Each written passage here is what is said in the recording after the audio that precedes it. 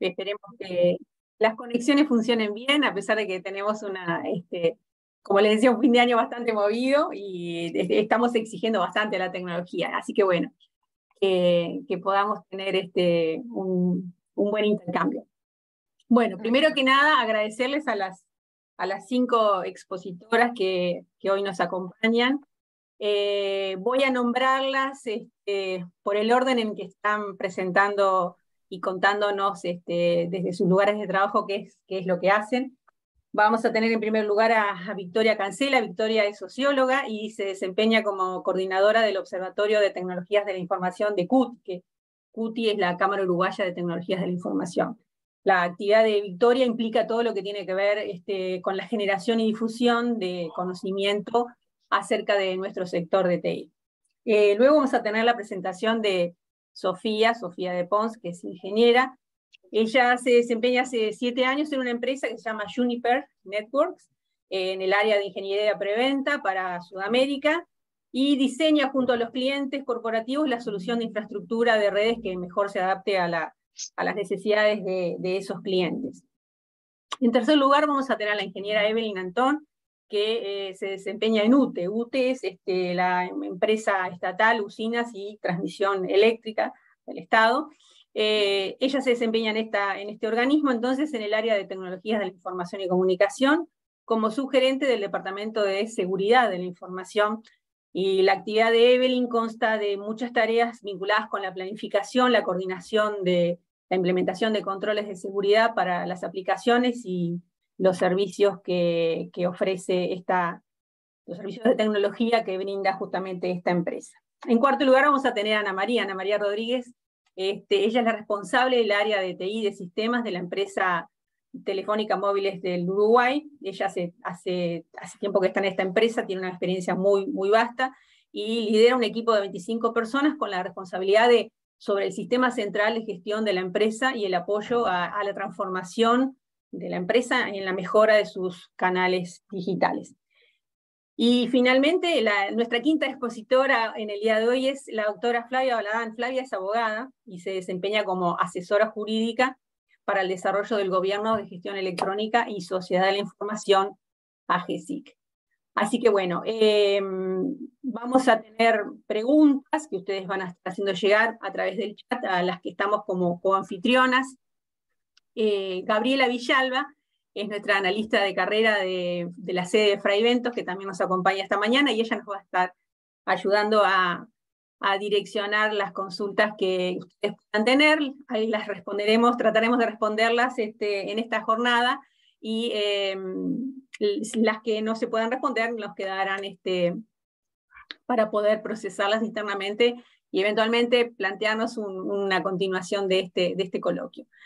Eh, reitero lo que se decía en la presentación. Esto es un, una,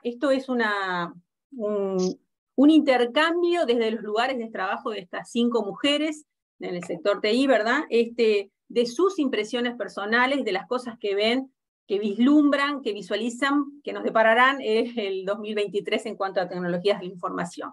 Ese, ese es el punto de vista donde tenemos que tomar estas cuestiones. Son opiniones personales que nacen justamente de su, de su experiencia y de su conocimiento que tienen en las organizaciones en las que, en las que trabajan. Así que bueno, dicho esto, vamos a darle paso a, Victoria, este, que todas tienen una pequeña presentación a modo, de, a modo de justamente para ayudarnos en esto. Pero para todas ellas, eh, la pregunta disparadora va a ser justamente el título de esta charla, es ¿qué nos deparará el 2023 en lo que es tecnologías de la información? Así que Vicky, todo tuyo, cuando quieras este, compartir, comenzamos. Bueno, muchas gracias. Voy a compartir pantalla. ¿Ahí están viendo la presentación? Sí. Perfecto. Bárbaro. Bueno, buenos días para todos y todas. Eh, en principio, bueno, gracias a Autec por la invitación a participar. Es un gusto compartir bueno, este espacio con, con todas, con, con Sofía, con Evelyn, con Ana María, con Flavia, con Mónica y Gabriela. Y bueno, y todas las personas que, que se conectaron ahora. Bueno, mi intervención parte más que nada desde mi lugar, como decía Mónica, como coordinadora del Observatorio TI de CUTI, en el que básicamente a lo que nos dedicamos es a realizar estudios sobre el sector de las tecnologías de la información, si bien es con foco en Uruguay, claramente es en un contexto de desarrollo de esta industria a nivel global, ¿verdad? Este, la pregunta en sí de qué nos deparará el 2023, en realidad para el sector es bien desafiante, este, debido principalmente a el dinamismo que tiene el sector. ¿Sí? Es muy difícil establecer con certeza qué nos depara el 2023, no solo en Uruguay, sino que eh, incluso los reportes de consultoras internacionales son cautelosos respecto a esta pregunta. Sin embargo, hay algunas eh, tendencias que se han observado y bueno, algunas afirmaciones razonables que se pueden hacer. Bien, sobre todo es inevitable no mencionar eh, a la pandemia. En realidad la pandemia justamente eh, lo que hizo fue que los procesos de digitalización eh, atravesaran diversos sectores. Son procesos de digitalización que en realidad se acentúan con la llegada de la pandemia, pero que ya venían desarrollándose desde antes y que, bueno, eh, por tanto, ante una aparente salida de la pandemia, llegaron para quedarse. Algunos de los sectores que se han visto atravesados por estos procesos de digitalización son, entre ellos, bueno, lo que es la salud, sabemos, entre otras cosas, del desarrollo de todo lo que es, por ejemplo, la telemedicina, el e-commerce, ¿no? La pandemia lo que hizo fue traer cambios eh, importantes en los hábitos de consumo de las personas y las empresas lo que hacen, bueno, es buscar eh, mejorar, por decirlo de alguna manera, las experiencias de compra de los clientes, incorporando ya sea realidad virtual, realidad aumentada, los chatbots, eh, nuevos métodos de pagos y, bueno, también lo que tiene que ver con la logística, todo incorporando tecnología. Estoy segura que acá eh, muchos y muchas de ustedes seguramente han realizado alguna compra en algún momento en este último tiempo y sabe de lo que les estoy hablando. También el sector de las finanzas se ha visto atravesado, hay una importante digitalización de los procesos en este sector. Esto es básicamente la eliminación de algunas de lo que son las, sucursales físicas, la incorporación de medios de pago sin contacto, el uso de las criptomonedas como medios de pago, un mayor uso de datos para la toma de decisiones, por ejemplo, este, y también incorporación, por ejemplo, de lo que es la inteligencia artificial en los este, procesos de negocio. Ni que hablar la educación, por supuesto, entre otros. Y en realidad esta transversalidad lo que implica es una mayor y más diversa aplicación de las tecnologías, lo que genera un gran optimismo entre los profesionales del sector y entre los empresarios. Esto ya es una buena noticia para el 2023 se continúa lo que es una línea de sociedad basada en datos. Seguro Flavia puede aportar mucho más que yo en este sentido, pero bueno, la gestión de datos implica el rol de profesionales de las tecnologías, ¿no? Profesionales que sepan procesar datos, pero este, también otros, por ejemplo, que sepan sobre ciberseguridad, pero también implica perfiles que no necesariamente son estrictamente tecnológicos, sino jurídicos, por ejemplo, ya que la gestión de datos conlleva un gran desafío de regulación. O bien perfiles con capacidad de interpretar y darle sentido a esos datos, ¿verdad? Ya sea, bueno, en el ámbito público como en el privado para lo que es la toma de decisiones y para eso también hay que tener conocimientos de. Este, la tecnología se ha instalado también en la gestión de los espacios de trabajo virtuales. Sabemos que con la pandemia también se ha, eh, se ha desarrollado muchísimo la modalidad de teletrabajo. Esto también debe complementarse mucho con un trabajo muy fuerte en temas de ciberseguridad, pero también de otras formaciones. ¿no? Este, por ejemplo, todo lo que tiene que ver con recursos humanos, con comunicación institucional.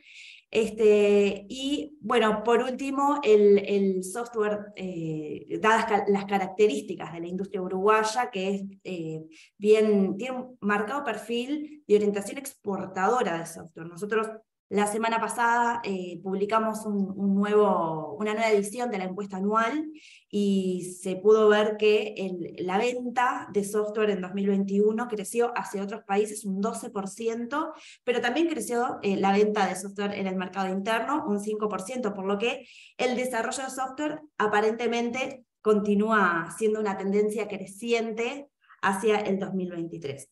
En síntesis, La aceleración de los procesos de digitalización, estos mencionados inicialmente, requieren de talento, tanto tecnológico, pero también de diversas formaciones, no solamente eh, perfiles tecnológicos. De hecho, en Uruguay, a partir del monitor laboral que realizamos en el observatorio junto a la consultora Advice, pudimos observar que uno de cada cinco llamados de los portales de búsqueda de empleo eh, provino del sector de las tecnologías y fue el sector que más más llamados proporcionó. Esto es en un periodo de un año, entre noviembre de 2020 y octubre de 2021.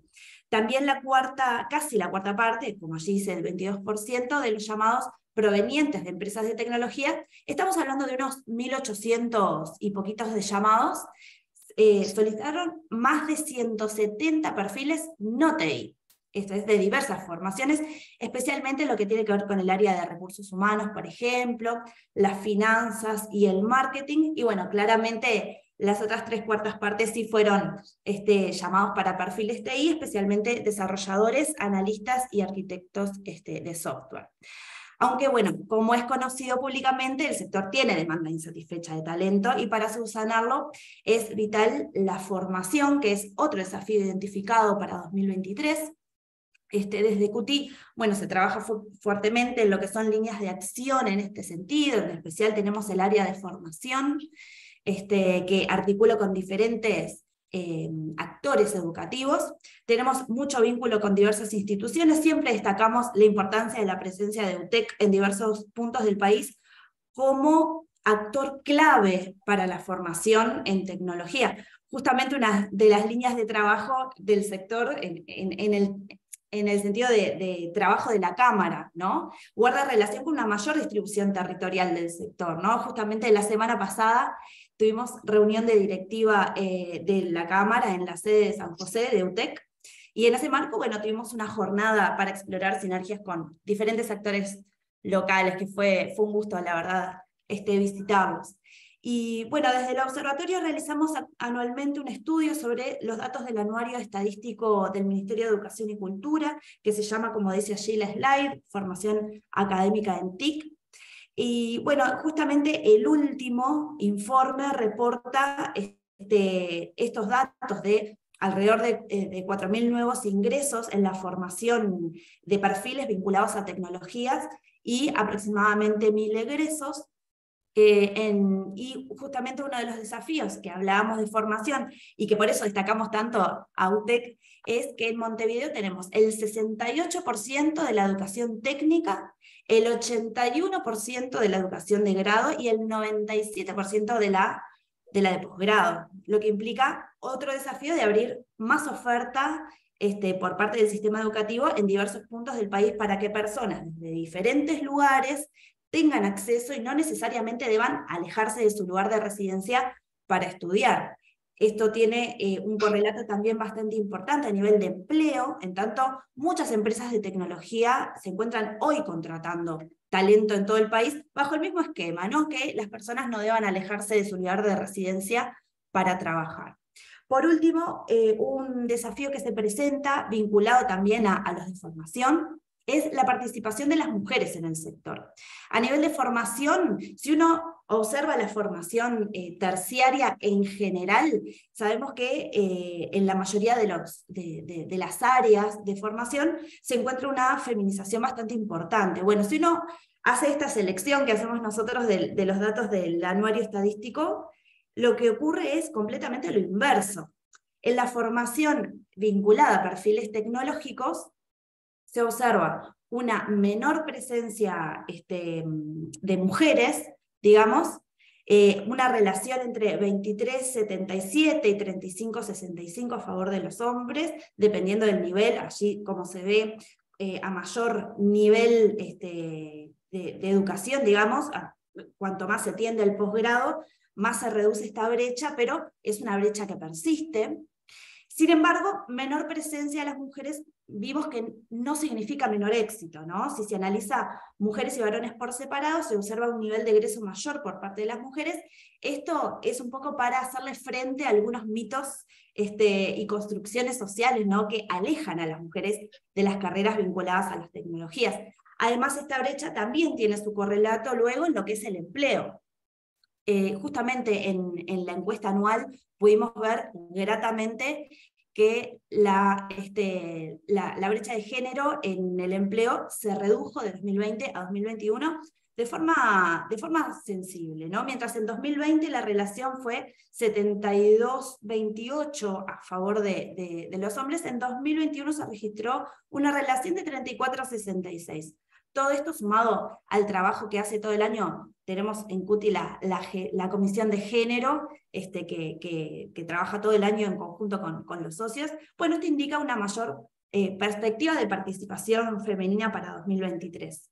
Y bueno, en síntesis, para no, no seguir quitándoles demasiado tiempo, el 2023 considero que se presenta para el sector de las tecnologías de la información con optimismo debido a la tendencia de crecimiento observada en el último tiempo y la transversalidad de los procesos de digitalización en diversos sectores también se presenta con algunas certezas, ¿no? Como este, la demanda de diversas formaciones, que eso es también una buena noticia, el teletrabajo y por último con múltiples desafíos también, ¿no? especialmente en términos de continuar acortando la brecha de género, visibilizando las mujeres que están y de continuar en la búsqueda de talento apoyado por más formación en todo el territorio nacional.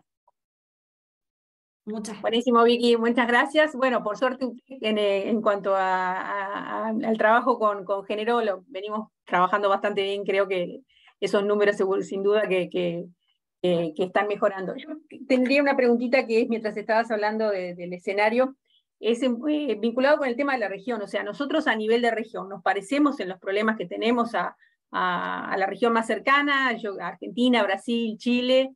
o tenemos problemas más o menos comunes o, nos diferenciamos en otro tipo de problemas, más o menos a nivel general. En realidad eh, hay, hay tendencias que son, son globales. Por eso mencionaba al principio que los estudios que hacemos nosotros los hacemos con foco en Uruguay, pero también prestamos atención a lo que sucede en el resto de los, de los lugares. Increíblemente tenemos eh, tenemos muchas similitudes, pero en Uruguay lo que se ve es que se hace mucho trabajo, tanto desde, este, bueno, también las instituciones educativas, la Cámara también hace mucho trabajo para quizás poder despegarse de alguna manera de, este, de, estos temas. Por ejemplo, en temas de género, eh, vemos que hay, eh, hay una tendencia a la mejora respecto a la región. Y en cuanto también a, la formación también, tenemos muy buenos eh, indicadores, digamos, de lo que tiene que ver con profesionales de las tecnologías por cada este, 10.000 personas. ¿sí? Uruguay se encuentra mejor posicionado en varios indicadores respecto a la región. Buenísimo, excelente. Muchísimas gracias, Vicky. Seguimos con Sofía, ¿sí? Sofía, que proviene del sector privado, de una empresa, este, que tengo entendido, Sofía, también tiene este, vinculación con lo regional, ¿no? Sí, sí, sin duda. Eh, esta empresa donde yo trabajo es un fabricante de infraestructura de redes. Y bueno, como bien decías, lo que voy a comentar por acá es básicamente de mi experiencia personal, de cómo, de cómo se ha vivido este último año y lo que lo que pensamos que se viene para el año próximo. A ver, por acá, si podemos compartir.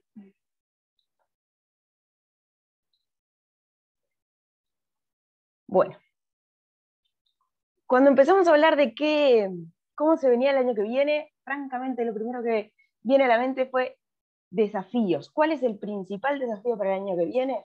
Y yo creo que viene muy de la mano del principal desafío de este año y fue la escasez de semiconductores. A ver, ¿qué son los semiconductores? Los semiconductores, el semiconductor es un material que dependiendo de cómo, de las condiciones en las que esté, puede o no conducir la corriente eléctrica. Y entonces, ese material es el que compone esos chips. Ahí en, la imagen se ve clarito. Con eso lo asociamos todos, de qué estamos hablando. ¿Y por qué esto es un problema bueno, básicamente hay escasez. Y como todo, o como la gran mayoría de las cosas, como ya me fue adelantando Victoria, la pandemia trajo cambios. Y la pandemia trajo cambios en todo sentido y a todo nivel, y esta no fue la excepción. Si bien la escasez no se trata, por las dudas, la escasez no se trata de ese material, que es, el semiconductor, sino realmente de los chips. Y es un fenómeno multicausal. A ver, pandemia. Empiezan los confinamientos. Todo esto se produce principalmente en Asia. En Asia hubo confinamientos fuertes. Con eso bajó la producción, aumentó el consumo, aumentó el consumo de, la electrónica de consumo, del home office, del ocio vinculado a lo, a lo tecnológico. Y bueno, y con eso baja la producción, aumenta el consumo, problema, crisis. Pero esa crisis que nosotros pensamos, que inicialmente se pensó que iba a ser algo temporal, se ha prolongado muchísimo en el tiempo. Esto de alguna forma se... A ver, si bien la pandemia, yo creo que la pandemia aceleró este proceso, pero lo que en realidad interpretamos es que no se pudo leer a tiempo, no se pudo prever a tiempo estos cambios, y bueno, y eso produce que hoy tengamos la situación en la que estamos. Em, hay algunas, acá nada, solo a, modo de, de, anécdota, digamos, cuando empezó la pandemia, las fábricas, esto si alguien estuvo por comprar un auto cero kilómetro o compró un auto cero kilómetro al último tiempo, se llevó, capaz se llevó una sorpresa. Y es que ese auto que antes capaz que a reventar en un mes lo tenía en la puerta de su casa, eh, ahora le puede llevar tres meses, cuatro meses o incluso más. Se dice que un poco lo que pasó fue que las fábricas, la industria automotriz, cuando vino la pandemia, bajó, quitó sus pedidos de chipset y cuando los quisieron volver a poner, porque esto se, la, industria se recuperó antes de lo previsto, quedaron para el final de la cola. Cambió la línea de producción y quedaron para el final de la cola, y bueno, y eso produce estas demoras. Hay una cosita adicional, y es que estos dispositivos se producen principalmente en Asia. O sea, está, hay, hay un gran oligopolio en realidad. Si bien por acá, nada, lo único que importa, o lo que quiero resaltar de esto, es que esto hay que tener un buen conocimiento geográfico para identificar que esto es Asia, esto que está por acá es China, y la gran mayoría en realidad se produce en Taiwán. Eso provoca eh, o incide de alguna manera todas las cuestiones, toda la guerra comercial que hay entre China y Estados Unidos, Taiwán, de, si es, si es China o si no es China, etc. O sea, hay, muchas, hay muchos intereses en el medio. Y eso también afecta esta disponibilidad o de hecho escasez que tenemos hoy. Bueno, que yo les comentaba que la industria eh, automotriz, por ejemplo, puso sus pedidos, los retiró y cuando los fue a volver a poner quedó como al final de la cola. Y eso es porque la mayoría de las industrias utilizamos estos, dispositivos, pero a nivel de impacto en, ganancia, en ingreso, tenemos lo que tiene que ver con computación, lo que tiene que ver con dispositivos wireless, electrónica de consumo, la industria automotriz, industrial y por último, acá tenemos comunicaciones e infraestructura. Eso les puede dar una pauta de que cuando el fabricante que son pocos, que están muy concentrados, tiene que decidir qué es lo que va a producir primero o en qué orden, qué foco le va a dar a esto, bueno, quedamos un poquito mal parados, digamos. ¿Y por qué estamos hablando de esto acá y por qué estoy hablando de esto hoy? Porque esto genera un impacto. Antes de la pandemia, eh, si íbamos a ordenar un equipo, si iban cualquiera de ustedes que fuera a comprar un switch, un router, un firewall, cualquier dispositivo de, infraestructura, posiblemente cuatro semanas, seis semanas, dependiendo del fabricante que lo fuera a producir. Pero ahora estos chipsets se empiezan a entregar a las 28 semanas. Eso quiere decir, imaginen ustedes, cualquier componente de estos cuasi milimétrico tarda mínimamente 28 semanas en ser entregado. Esto es lo más básico, pueden ser 40 semanas o más, o sea, 28 semanas, estamos hablando de 7 meses, para ponerlo en un número más tangible, en, algo que no podamos interpretar, o 40 semanas para algo más básico, algo un poquitito más, bueno, para un semiconductor básico, pero ese sería el promedio, e incluso hasta 52 semanas o más, es decir, un año desde que se pide un chip de, alto nivel, un chip high-end, hasta que se puede entregar. Y eso es un componente mínimo de los que lleva un equipo de infraestructura. Entonces, yo no quiero ir para ahí, quiero ir para acá. ¿Qué es lo que sucede realmente? Porque hasta ahí es todo un mundo eh, muy abstracto, ¿no? Pero a nosotros, ¿cómo nos impacta esto a nosotros? Se dispararon los tiempos de entrega, pero se dispararon rotundamente. Lo que antes hablábamos de cuatro semanas, seis semanas, uy, seis semanas, lo que tarda la importación, y ahora estamos hablando de 200 días, 300 días, prácticamente un año. Y he visto eh, tiempos más disparados todavía. Eso, eh, o sea, eso a nivel cotidiano, eso es lo que de alguna manera me, rodea realmente. Por otro lado, eh, la fábrica cuando va a hacer un lanzamiento, se lo piensa bien, se posponen esos nuevos lanzamientos. Algunos productos se adelanta la obsolescencia, porque en realidad es un producto que está bien, que funciona bien, que estaría en condiciones de seguir adelante, pero ¿qué pasa? Es muy difícil seguirlo produciendo. Entonces, eso se adelanta. Y por último, eh, antes, cuando, bueno, cuando yo empecé a trabajar acá, la condición era hagamos la mejor propuesta técnica para estos requerimientos, para, este cliente. Y ahora el tiempo de entrega se convirtió en un requerimiento más. No es un requerimiento técnico, pero es un requerimiento que tenemos que tener súper presente. Esto empieza en qué necesitas y termina en y cuándo lo tenés que desplegar. Porque si no, eh, no llegamos a ninguna parte. Esto es un cambio fuerte. Bueno. Bien. Bueno, y ante esta situación, ¿qué acciones se están tomando? A ver, a nivel global, a nivel internacional se están tomando muchísimas medidas. Estos datos están súper actualizados, justo recientemente, en, la última semana salieron un montón de anuncios en ese sentido. TSMC es la empresa, la que tiene la mayor porción del mercado, que es esa empresa que, está, que es de Taiwán, eh, está haciendo inversiones para construir una planta en Arizona, en Estados Unidos. Estados Unidos quiere lograr la independencia de Asia para la fabricación de estos dispositivos está proyectada hasta el 2024 una inversión de 500 mil millones de dólares en este tipo de, empresas, en este tipo de fábricas. Eso es hacia el 2024. Y bueno, y aquí están las, la cantidad de empresas que se han ido construyendo, la cantidad de fábricas. Pero ¿qué pasa? Estas fábricas, o sea, el proceso es súper complejo, no es un proceso sencillo, no es una fábrica tan sencilla, el proceso es muy complejo y aparte hasta que esa fábrica logra una velocidad crucero de producción, digamos, tarda más de un año incluso.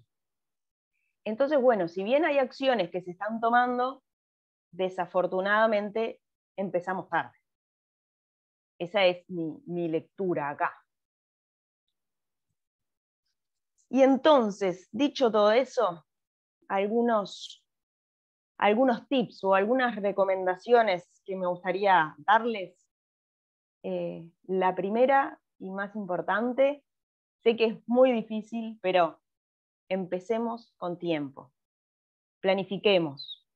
Eh, porque si no, si no planificamos, si es algo que sale como, uy, dentro de tres meses vamos a, lo vamos a hacer con los dispositivos que consigamos, que posiblemente, que quizá que sean o no los que nosotros necesitamos. Tiene más que ver con lo que vamos a poder alcanzar que con lo que, si es realmente lo que nosotros necesitamos o no. Eso por un lado, cuanto más antelación, mejor. Y por otro lado, y esto lo digo con, con propiedad, digamos, es estén cerca. Estén cerca si hacen un pedido, si hacen una compra, si lo que sea, manténganse cerca porque, porque la, la lucha, digamos, por esos dispositivos es muy fuerte. Entonces, bueno, como para no quedar atrás en la cadena. Solo una cosita más, y es, porque a todo esto estamos acá para hablar del 2023, y yo les conté de un problema que ya existe. El problema es que esa situación que ya existe eh, se va a prolongar durante 2023, sin duda, lo dicen los grandes, lo dicen los fabricantes más conocidos, desde Cisco, digamos, que capaz que es más el, más conocido en esta rama, eh, estiman que por lo menos, sin duda, el primer semestre del 2023 y muy probablemente el segundo semestre todavía tengamos coletazos de esto. Se espera que hacia el 2024 tengamos un poquito más de, de volver a, una normalidad. Bueno, eso es lo que yo les quería contar hoy. No sé si tienen alguna pregunta. Sí, podemos ver alguna, algún comentario entre las, las expositoras y vemos si tenemos alguna consulta. No, a ver, a mí se me, cuando estaba hablando, obviamente, que lo que se sugiere es esto, como un tema no técnico, como fue la pandemia, una cuestión de sanitaria, este, eso fue de lo que vos contabas, ¿no? Fue desatando, desatando un montón de cosas que ahora nos están afectando. Entonces, simplemente el hecho de eso, digamos, de esa globalización que tenemos con los temas, áreas que no pensadas disparan cosas que impactan en, lo que nosotros hacemos, ¿no? Y también un poco el, esa, esa, mirada que a veces tenemos como que la tecnología es la que nos conduce a los cambios, pero en realidad en este caso hay otras cosas que van conduciendo a esos cambios, ¿verdad? O sea, este, de, de las situaciones que estamos viviendo, o sea, no, no, es la, la, tecnología per se, sino que hay otras cosas atrás que no las vemos para, las personas comunes y corrientes, digamos, nosotros mismos también. Me incluyo, digamos, de, de ver ese, ese análisis, ¿no? Digamos, por lo menos yo lo había escuchado. No sé qué opinan las otras compañeras. Este, bueno, seguramente eso puede impactar en, en la próxima expositora que viene, que se ve que trabaja justamente en una empresa muy importante estatal, eh, en UTE, y, este, seguramente porque estas cosas ya ustedes las tienen en consideración. Hola, bueno, ¿me escuchan? Perfecto. Bueno, perfecto. A, compartir, te agradezco. Disculpen, pero la tecnología, como ustedes saben, y Murphy siempre está presente. Cuando quise compartir este, mi presentación, se me caía. Eh, bueno, como ese es el edificio del Palacio de la Luz, eh, la sede principal de UTE, eh, para los que no lo conocen. Y bueno, UTE este, no ha sido ajena a la este, digitalización eh, que se ha producido en los últimos años, a las tendencias de, digitalización que están eh, redefiniendo las empresas, grandes o pequeñas. ¿no? un poco haciendo alusión a lo que comentaba la compañera de Cuti, eh, a una pregunta, perdón, que le hicieron a, nuestra compañera de, panel de CUTI. Eh, Uruguay hoy por hoy eh, em, se encuentra en las Américas, América, todo América, en, es el país en el tercer lugar en desarrollo de ciberseguridad. Está detrás de Estados Unidos como el primero y de Canadá como el segundo. Eso nos ubica muy bien eh, en el desarrollo de las tecnologías y de la ciberseguridad, ¿verdad? Em, lidera nuestra región en el, modelo, en el modelo de madurez de ciberseguridad, según eh, un estudio realizado por el BID y la OEA entre el 2019 y el 2020. A pasar.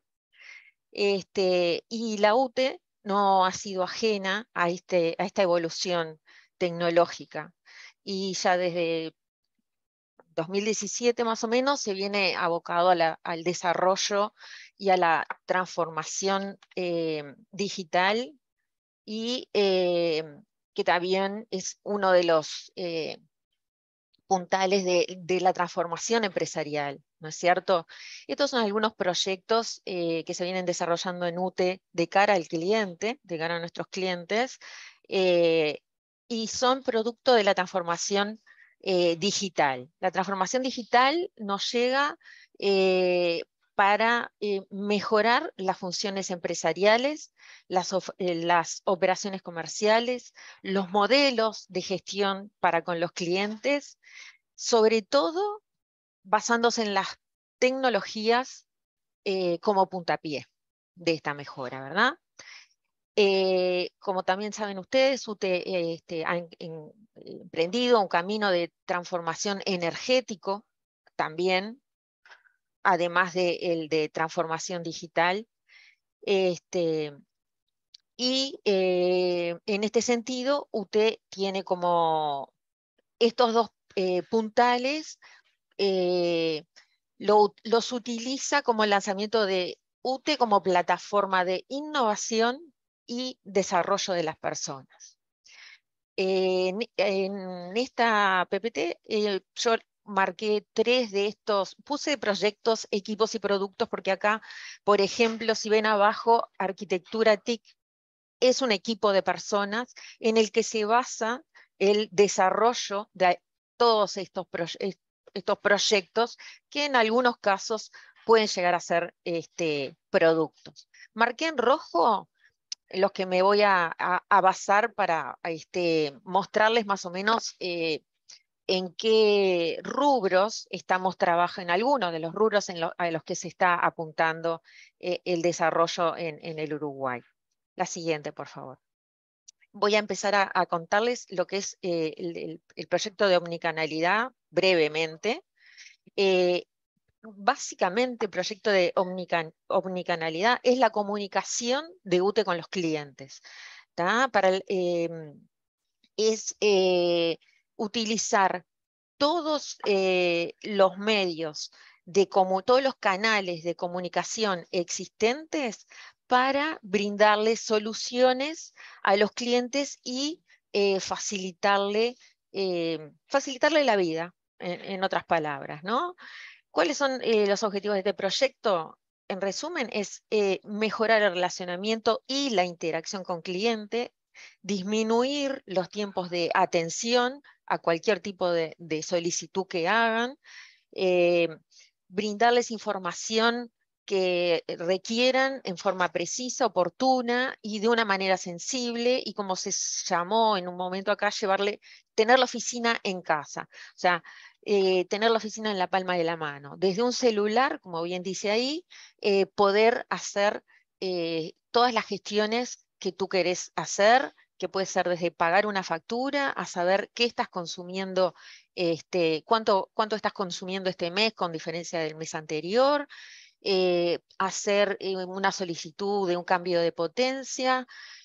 Ahí ven eh, distintos medios, por ejemplo, a través del SMS, hoy por hoy se están llegando avisos de que se van a estar realizando trabajos en una zona que puede en la que puede estar ubicada mi, casa o este, el lugar donde yo estudio o trabajo, corte de luz, por, debido a, trabajos, la factura me puede llegar por email o me puede llegar hoy día por WhatsApp, yo puedo solicitar que me llegue a través del WhatsApp, capaz que han estado viendo este, este último lanzamiento, ahí ven en el medio una pantallita que es los totem, que los pueden eh, eh, estar viendo hoy por hoy como en, los edificios, acá en, Montevideo se está utilizando mucho que ya no esté el portero, sino que haya este aparato que es este, un portero que está ubicado en algún lugar en forma eh, digital, remota. Y esto también apoyando lo que, comentábamos hoy, la pandemia también trajo eh, el trabajo remoto y la atención remota. Em, la siguiente, por favor. Eh, entonces, eh, bueno, acá más o menos sobre lo que les estaba comentando, pero em, destacar que se comienzan a utilizar en Uruguay eh, y por el público, por todos nosotros, em, tecnologías de punta que están en todo el mundo, ¿no? chatbots, eh, gestión de conocimiento para hacer previsiones, inteligencia artificial, em, click to call para interactuar este, eh, directamente con eh, o chatbot para este, hacer una solicitud, ya no, no necesariamente van a ser siempre este, personas las que me estén atendiendo, me puede estar respondiendo rápidamente a una consulta mía un automatismo. ¿Verdad? Eh, bueno, sigamos con la que viene, que es otro de los proyectos, eh, muy interesante, por cierto, acá tenemos mucha tecnología involucrada, que es el de realizar consumos en forma inteligente. Yo no sé si todos tienen presente que la UTE en, los últimos años estuvo muy abocada, está muy abocada a este, eh, generar a través de eh, eh, generación de energía en forma limpia, ¿no? con energía fotovoltaica, energía eólica, que este, se llama energía limpia.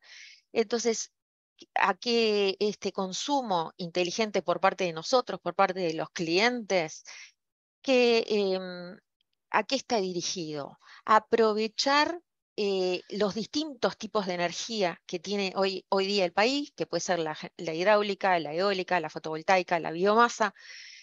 Nosotros eh, sabemos eh, en cada momento, por día y por hora, qué tipo de energía se está produciendo más. Entonces, que se pueda distribuir esa energía, que no hayan picos de consumo y que se puedan estar utilizando en mayormente energías limpias este, como contribución con el medio ambiente. ¿no? Como, este, y también como un ahorro energético, aprovechar lo que nos brinda la naturaleza. Pero acá viene también a esto le sumamos, este, este proyecto, a mí me encanta, eh, le, sumamos muchas más, muchos más conceptos de tecnología. Le sumamos los medidores inteligentes, que quizá muchos de ustedes este, han visto que eh, en sus casas le cambiaron el medidor eh, y ahora tienen como una lucecita roja, esos son los medidores inteligentes. ¿Qué hacen estos medidores inteligentes?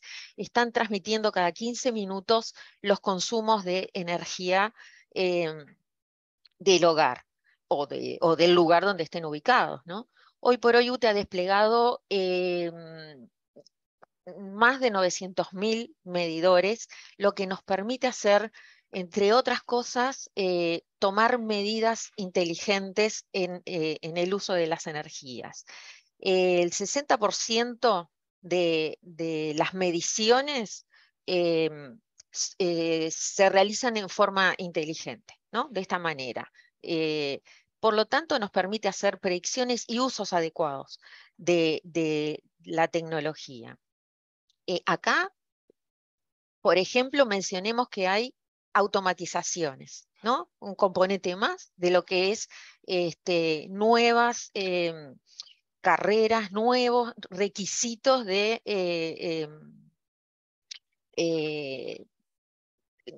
nuevos, eh, nuevas puntas para, para el aprendizaje.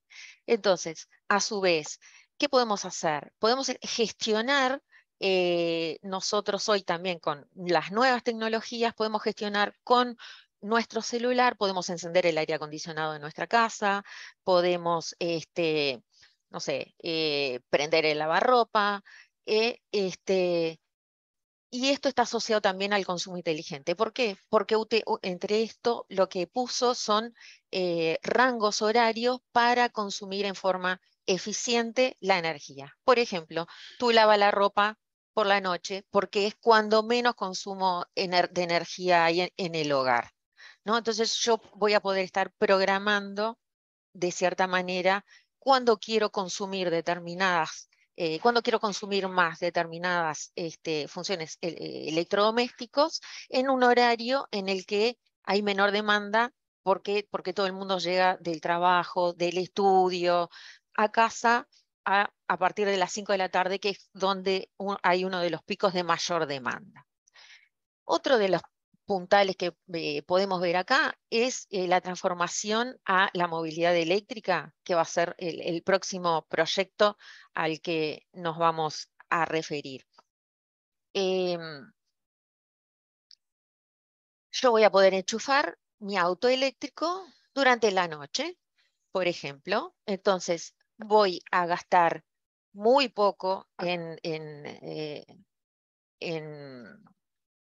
combustible, eh, la energía en este sentido es muy barata. Eh, quizás dale otro clic.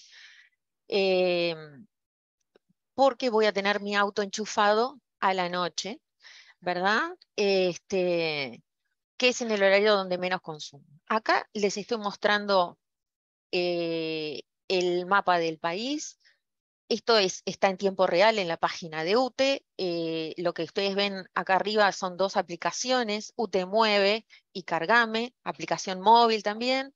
Eh, uno que tiene un auto eléctrico eh, puede ver a, este, a través del celular el mapa del país. Esta es la ruta verde o la ruta donde están apostados hoy por hoy 138 puestos de carga, algunos de carga rápida, eh, en forma online, yo sé eh, cuántos puntos de carga hay en cada una de estas localidades. Eh, puede haber más de uno en algunos lugares. están en amarillito los que en estos momentos están siendo utilizados o no están disponibles, por lo tanto yo puedo saber a cuál me puedo dirigir más cercano, ¿verdad? si sé que me estoy quedando, si estoy transitando y me estoy quedando sin, sin energía.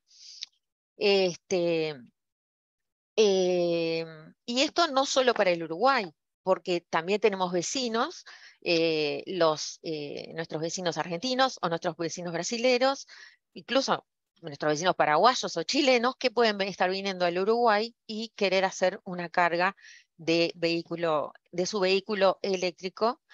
Y este, esto también está muy enganchado con todo lo que es tecnología porque esa, eh, el pago de esa energía, los uruguayos, por ejemplo, lo podremos hacer a través de nuestro recibo de UTE. Por lo tanto, esto está enganchado con el sistema de gestión comercial. Yo estoy enchufando, cargando mi vehículo en una estación, dice, del país, por, por, mencionar cualquiera, y el costo de la carga a mí me va a llegar a fin de mes con el recibo de la luz por ejemplo. No necesariamente lo voy a tener que estar cargando en el momento. Entonces acá tenemos dos grandes eh, puntales de desarrollo y esto nos posiciona como Europa o como Estados Unidos, porque tengo una gran ruta eléctrica, una gran interconexión. Imagínense acá todo lo que hay interconectado, porque este aparatito que ustedes ven ahí gris al que está enchufado, este auto eléctrico, este, eh, se llama SABE, es un punto de carga y está interconectado, eh, o sea, sabemos desde nuestro teléfono digital si está funcionando o no.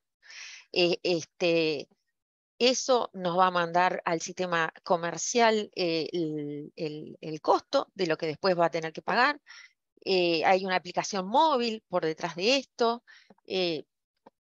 hay mucha tecnología y mucha innovación en, estos temas, ¿verdad? Eh, entonces, y un poco para ir resumiendo, que no quiero sacar más tiempo y, y, este, adelantate a la, a la siguiente, Mónica. ¿Qué les estuve mencionando acá? Que todas las tecnologías de innovación que han surgido en este último siglo, hoy por hoy en el Uruguay y en particular en UTE, están siendo utilizadas qué es, eh, eh, eh, a qué tienen los jóvenes que encarar este, los próximos desafíos? Bueno, inteligencia del comportamiento. con todo esto que yo les estoy diciendo, se hacen predicciones para este, ofrecerle mejores servicios a los clientes. El uso de tecnologías renovables es otro de los pilares que este, está apuntando, al, que está apuntando la industria, la UTE y la industria del país. Aprovechar lo que nos brinda la naturaleza, el Internet de las cosas, pero utilizándolo, como decía el proyecto, consumo inteligente, consumiendo en forma inteligente este, lo que yo eh, manejando de forma remota y consumiendo de forma inteligente mi energía y bajando los costos eh, de mi hogar o de mi empresa, ¿verdad?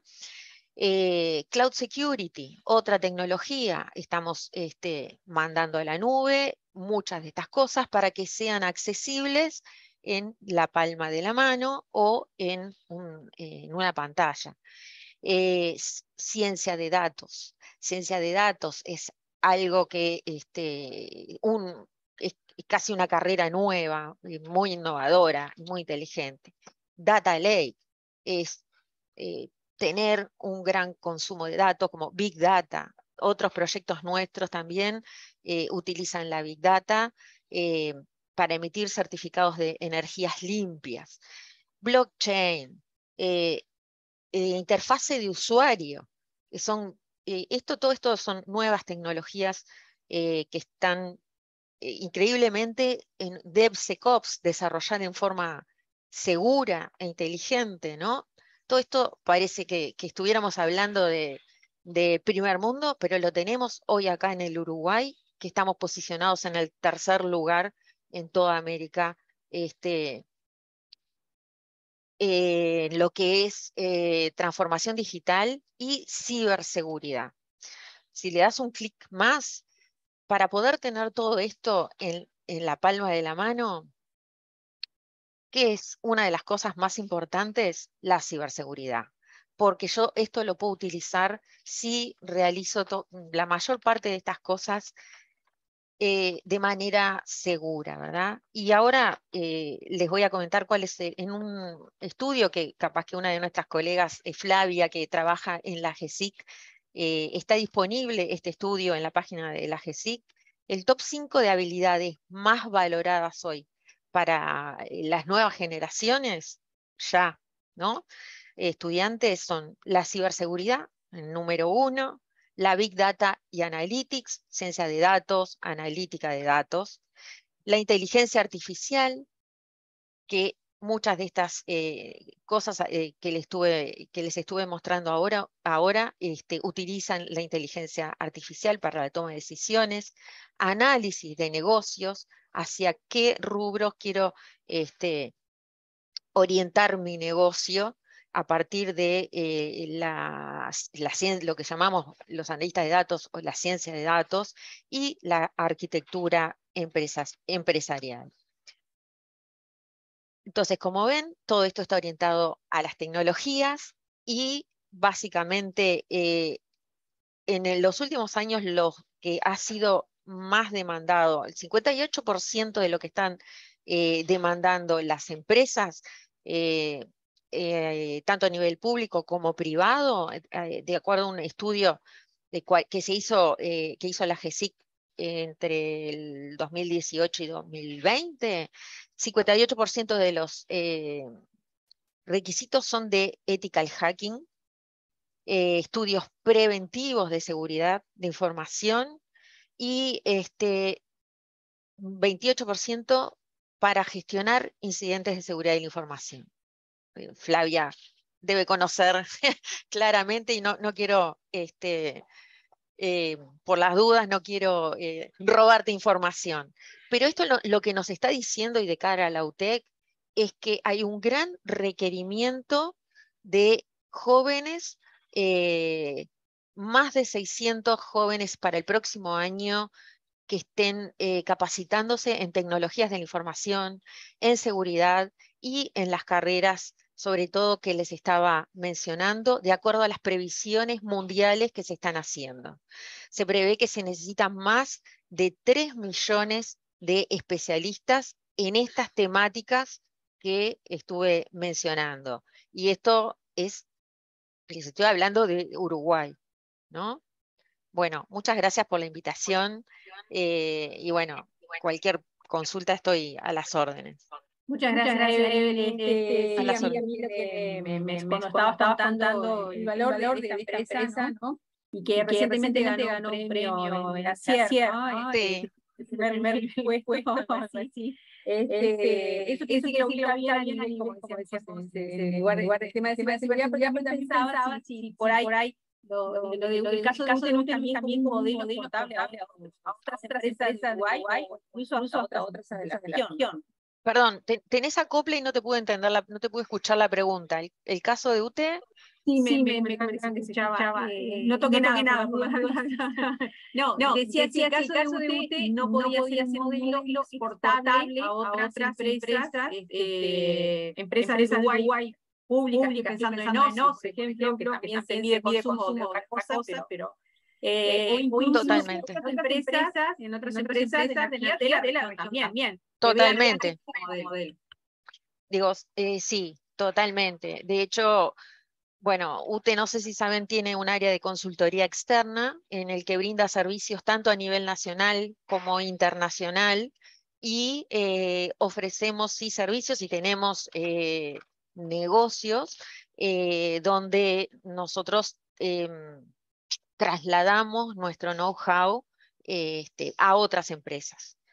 Lo hemos hecho, hemos trabajado en, varios países de la región, Ecuador, Argentina, se ha trabajado en Venezuela, eh, sí, muchas de estas cosas son exportables a, empresas y, a, nivel, perdón, me olvidé, a nivel nacional también. Hemos trabajado con intendencias, intendencias de, eh, de Canelones eh, en la atención al cliente, intendencias de Montevideo, con Antel en la implantación de SAP y, este, algunos productos del área del core business del negocio, Conoce, estamos trabajando también este, también en algunos proyectos de mejora de la gestión. Eh, totalmente, eh, la respuesta es totalmente. Sí, estos, ah, muchos de estos productos son aplicables a otro tipo de industria este, y sí se está haciendo desde UTE y desde hace años ya. Buenísimo. Bueno, bueno, voy a ver, si soluciona mi acople, que me están diciendo. Perdón, sí, acopla un poco, por eso no te había entendido. Eh, y damos, a Ana María, ¿sí? Ana María, estamos, unos minutitos retrasados, pero vamos a terminar bien. Perdón. No, no, no, está, muy, interesante lo que pasa. Muchas gracias. Bueno, a ver si puedo compartir la presentación.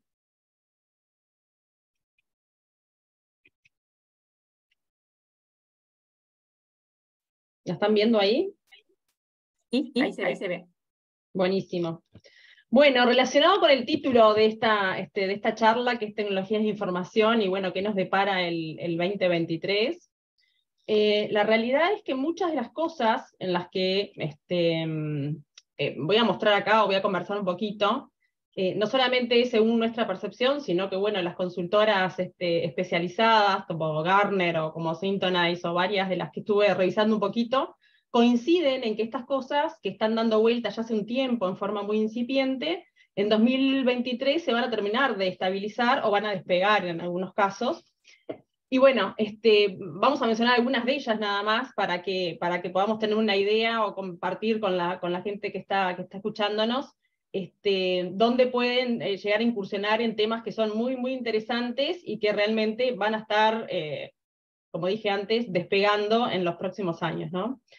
Realidad virtual, por ejemplo, es algo que se viene escuchando hace mucho, este, está muy vinculado con lo que es el gaming, o sea, los, los, los, juegos están sacando mucho jugo de esto, todavía los dispositivos son bastante costosos, pero bueno, es de esperar que esto eh, vaya bajando de precio en la mayoría de los dispositivos y, mejorando la, potencia.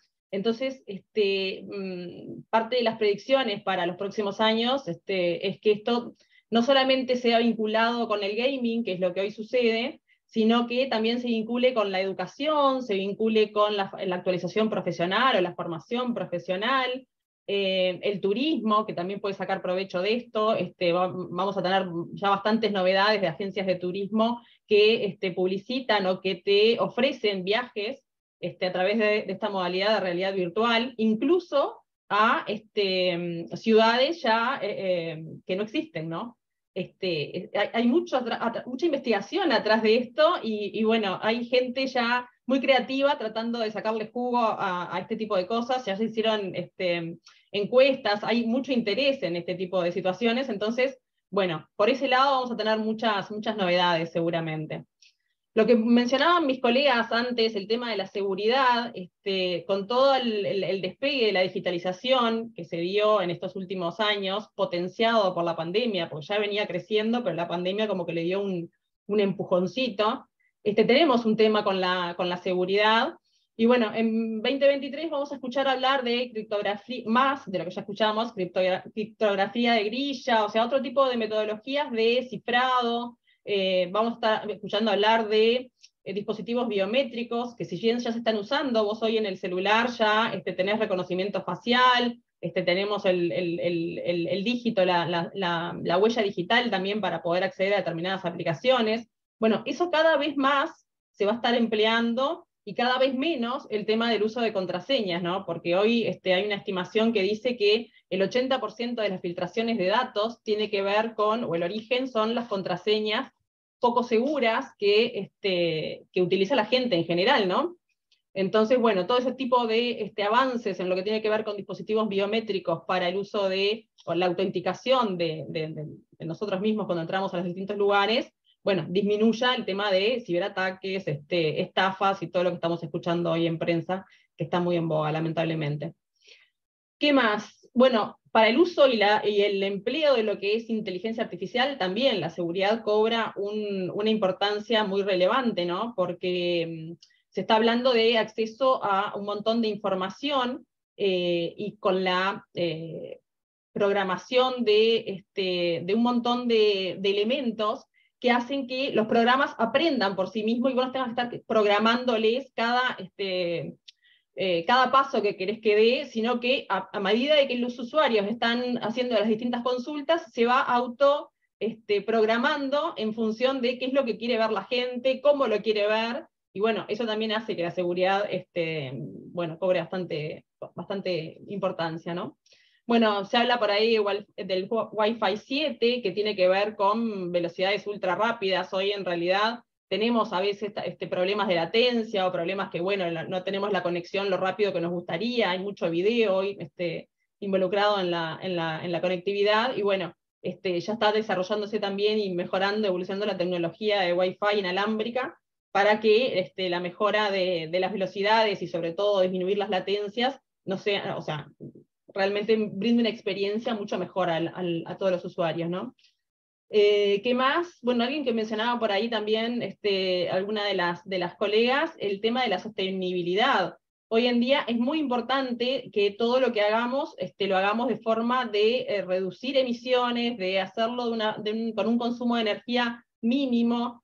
Este, y bueno, eso también tiene que ver con desarrollar tecnologías que este, hagan un uso eficiente de la energía y bueno, hay muchas empresas que están trabajando justamente para este, bajar emisiones, hacer un uso eficiente de la energía, disminuir el consumo de energía, y bueno, todo lo que tiene que ver con este, energías renovables, ¿no? que también lo, lo, comentaban por ahí. Este, perdón que estoy yendo rápido, pero bueno, se nos está yendo la hora. No, tranqui, tranqui. Eh, computación cuántica, bueno, este, hay un chiste bastante común que es este, cuando algo querés decir que es bastante simple, decís esto no es física cuántica. Bueno, ahora se está aplicando, que es tipo lo más complejo que te puedas imaginar, es lo que uno tenía como catalogado, encasillado a la física cuántica. Bueno, ahora tenemos la computación cuántica, que también está desarrollándose y que algo era solamente hace unos años atrás solo de laboratorio, ahora ya se está empezando a aplicar en casos este, de uso puntuales, básicamente todavía para resolver problemas muy complejos como reacciones químicas a través de simulaciones, este, cosas muy, muy puntuales, pero cada vez están empezando a escuchar más y cada vez están buscando más formas de aplicación a lo que justamente cada componente hoy en, en, mucho menor espacio tenés mucha más este, capacidad de cómputo, ¿no? Entonces, bueno, también vamos a escuchar hablar de esto este, mucho en el futuro. Metaverso, que hoy si bien tenemos una empresa asociada específicamente con esto, la idea es que a partir de los próximos años este, el hecho de tener asociado este, el, dispositivo a la realidad virtual y física, bueno, va a estar muy, este, muy integrado y muchas empresas van a poder sacar jugo de esto. Este, bueno, hay, estimaciones de que eh, a partir del próximo año este, esto va a estar creciendo de forma muy relevante y bueno, todo el uso de la nube está haciendo facilita para que esto justamente esté, esté creciendo, ¿no? Lo mismo las super aplicaciones, que este, hoy combinan justamente características de una aplicación, una plataforma y un ecosistema, justamente eso va a estar muy en boga porque cada día están más integradas también las cosas, ¿no? Entonces, bueno, de futuro esto va a estar, va a estar también, eh, cada, cada, cada, aplicación que sacan las empresas va a estar muy integrado también y vamos a tener este, super aplicaciones mucho más de uso doméstico, cotidiano, ¿no? Después tenemos, bueno, plataformas industriales de escala en la nube, que hoy están más bien contenidas en, data centers privados. Este, IoT, lo que hablábamos recién este, con, con mi colega de UTE, bueno, IoT, que es un, una tecnología que está disponible realmente hace muchos años, eh, con el tema del abaratamiento de costos de los dispositivos y que hay mucha más tecnología que le saca jugo, antes era muy de nicho en algunos este, productos muy puntuales y ahora, como decías, yo le enciendo el aire acondicionado a mi madre que no termina de, entender bien cómo funciona, se lo enciendo desde la oficina o desde cualquier lugar a través de mi celular. Eh, lo mismo con otro montón de dispositivos, la aspiradora, gran invento, la aspiradora que la podés encender en tu casa y antes de llegar tenés toda la casa limpia y ella se maneja sola. Hay un montón de dispositivos ya de uso doméstico que han justamente bajado bastante de precio y son mucho más accesibles para el consumidor normal. Que bueno, todo esto es justamente el Internet de las cosas. Tú podés conectar un montón de dispositivos a Internet y manejarlos desde el celular este, con la independencia que esto este, te, brinda, ¿no? El tema de encender las luces, un montón de cosas que antes eran no sé, de película de ciencia ficción y ahora los estamos usando este, en lo cotidiano. Lo mismo, bueno, el valor de lo inalámbrico, ¿no? O sea, todo lo, que tiene que ver con, este, bueno, no tener cables, hoy todavía tenemos, es común, por ejemplo, que en las oficinas todavía conectes tu, PC o tu notebook al, cable de red para mejorar el tema de lo que hablábamos antes, ¿no? Latencia, este, velocidad de conexión. Y bueno, eso cada vez la tecnología está haciendo que el, foco sea en que eh, la Wi-Fi, el tema de em, eh, la conectividad sin cables mejore tanto la, la, la, velocidad, que ya la idea es no, que no sea necesario que tengas que conectarte el cable de red para, para que tengas una conexión segura, ¿no? Cosa que todavía hago, para que no se corte. Em, bueno, creo que como, como pantallazo general de lo que las tendencias están indicando para el próximo año, vamos ahí. En nuestro mercado lo que vemos sobre esto tiene que ver con, bueno, lo que veníamos comentando, ¿no? El crecimiento en digitalización, este, la pandemia ah, le dio el empujoncito que hablábamos recién, ¿no? En el e-commerce, lo que es la compra a través de este, la computadora o el teléfono. Antes, este, nuestro mercado por lo menos era bastante reticente y empresas líderes como Mercado Libre, ya aprovechamos hacerle publicidad, estaban tipo con la gran mayoría del porcentaje de las transacciones comerciales. Hoy en realidad se estaba como distribuyendo más esto y aumentó justamente em, en función de, eh, de, bueno, de la necesidad que tuvimos porque estábamos encerrados en la pandemia, empresas como para pedirte, no sé, este, los deliveries, ¿no? El, tema del restaurante, el tema de la farmacia, como que hay un montón de otras aplicaciones que ya este, distribuyeron todo lo que es el, el comercio electrónico y bueno, casi que cada empresa hoy este, ya tiene una página web donde tú puedes seleccionar la mercadería que vende, no importa de qué rubro sea, y comprar con un solo clic, ¿no? Este, conductas que antes eran bastante eh, resistidas desde el punto de vista de nuestro mercado. Lo mismo tiene que ver con el IKEA, o sea, que la autogestión que vos te haces de tus servicios, lo que hablaban este, recién de, de UTE, ¿no? Este, que vos podés mirar tu consumo, podés mirar este, el consumo de las tarjetas de crédito en tiempo real, ver si gastas más, gastas menos, o sea, tenés mucha más información casi que al instante comparado con lo que teníamos antes, que hasta que no te cerraba el estado de cuenta este, y te llegaba el estado de cuenta del mes pasado, casi que no tenías mucho control de lo, de lo que hacías. Lo mismo los pagos, este, en nuestra empresa, por ejemplo, que veníamos este, motivando el pago electrónico muy, eh, este, lentamente, porque los clientes como que se resistían un poco, la pandemia, por ejemplo, este, dio un empujón muy importante y duplicó la cantidad de transacciones de pagos digitales que recibíamos este, 2019 versus 2022, ¿no? Eh, en, general la cantidad de transacciones electrónicas este, se ha multiplicado ah, eh, con el empujón de la pandemia y bueno, y, la gente le ha perdido un poco el miedo, ¿no? que ese es el otro problema que tienen los consumidores. ¿Qué más? Integración entre aplicaciones. Antes era muy común que vos este, dejabas un archivo y después venía otro sistema y lo tomaba y lo leía y en función de eso este, interactuaban. Hoy, este, de nuevo, ¿no? el, tiempo real hace, mella y queremos que todo sea en el momento. Entonces tenemos los sistemas integrados, desarrollamos APIs, eh, queremos que el desarrollo de las aplicaciones contemple el hecho de que puedan integrarse con otras y bueno, tenemos un montón de, sistemas integrados para que unos se nutran de otros en tiempo real, justamente, ¿no? Y bueno, y eso también viene relacionado con lo que hablábamos de la seguridad digital, que es lo que mencionábamos hace unos minutos, de este, bueno, la mejora en el cifrado de las contraseñas para que evitemos los, los ataques y las estafas, el tema del uso de dispositivos biométricos, este, bueno, todo lo que se puede hacer para que justamente nuestra información siga siendo nuestra y, no, y no ajena, ¿no?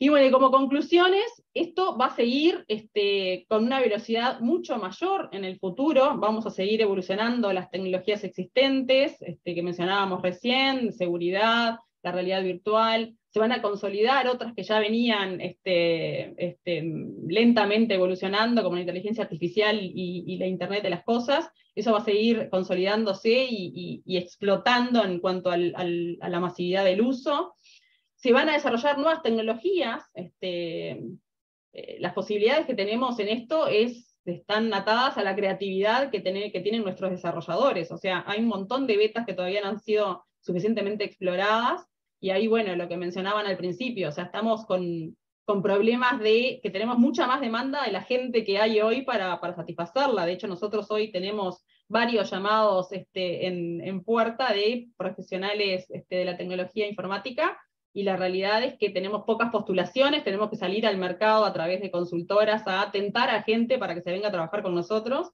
porque no hay, o sea, o captamos estudiantes avanzados, que es lo que yo estoy pidiéndole a la consultora, ya no, no te guíes solo por ingenieros y licenciados y profesionales, anda a buscarme estudiantes avanzados con buena escolaridad, porque la realidad es que en el mercado está habiendo mucha más este, demanda que de la que puede satisfacerse, la realidad es que nos falta gente y bueno, este, necesitamos que, este mundo apasionante interese, interese a los jóvenes, ¿no?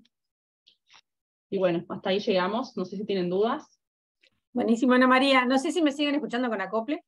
No, no, ahora perfecto. Ah, bueno, había tocado todo lo, lo habido por haber. Eh, Ana María, muchísimas gracias y mm, bueno, vieron que se repite, nos vamos a estar peleando por los, por los egresados de UTEC de la, de la licenciatura. Bueno, es un lindo, es un lindo problema. Eh, damos paso a Flavia, ¿sí? Que estamos unos. Y bueno, Flavia ahora nos va a bajar a la tierra un montón de cosas. Por, por lo menos los, los, estudiantes y egresados de su carrera van a quedar contentos, porque trabajo no les va a faltar. No les va a faltar, es cierto. Y van a tener a dónde elegir. Ah, bueno, eso también es otra cosa muy importante. Sí, en realidad eh, un problema que se está presentando también es que hay a los desarrolladores en Uruguay también los está tentando mucho las, las empresas extranjeras. Con el teletrabajo. Claro. Exactamente, entonces, bueno, ahí es, es, es, un problema sobre otro problema, no solamente la cantidad de desarrolladores o, o, de diversas este, formaciones tecnológicas, sino también poder hacer que las empresas en Uruguay eh, sean atractivas, tengan propuestas, eh, ya sea económicas como de condiciones laborales atractivas. Así que bueno, hay que trabajar en eso. Bien, vamos Flavia.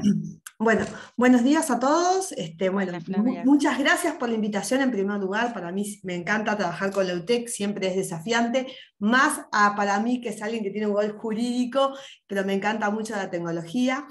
Eh, mi presentación en realidad va a tener justamente esta perspectiva más jurídica de todos estos asuntos y agradezco las presentaciones anteriores porque me han allanado el mm. camino y creo que incluso hay algunas líneas claras que todos eh, pensamos sobre lo que, se, lo que está y lo que se viene.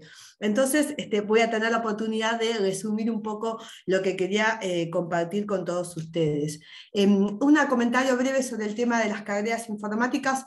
Es una preocupación en, todos los ámbitos, e incluso la Agencia de Gobierno Electrónico también le preocupa mucho esta situación, porque incluso ve que hay problemas en los organismos también públicos para conseguir técnicos para desarrollar la información. Entonces, realmente hay muchísima demanda, no solamente del ámbito privado, también del ámbito público y, los problemas de sobre ese tipo de, profesiones, ¿no?